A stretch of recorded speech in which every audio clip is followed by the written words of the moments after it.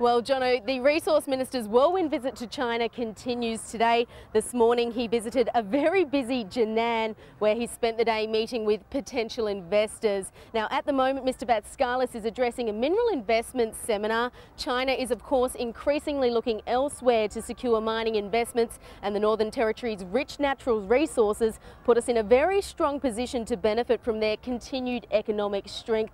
Not to forget that the Northern Territory's relationship with China is is already pretty well established. ABS figures released this week show that the territory exported $1.2 billion worth of products to China last year. And in mining alone, $170 million worth of investment has been secured in the Northern Territory from China, with the experts predicting that figure will skyrocket in the coming years.